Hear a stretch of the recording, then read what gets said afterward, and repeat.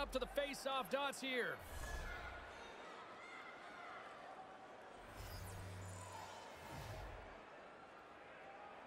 The Sabres get a hold of the puck in their own end.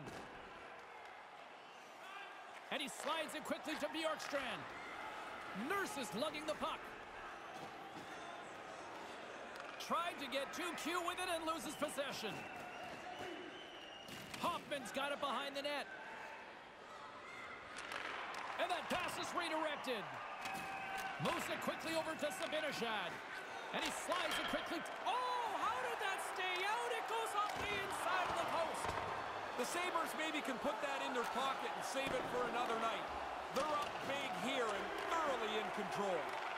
And now he moves it quickly to Hoffman. Move to the middle. Here he is on the backhand.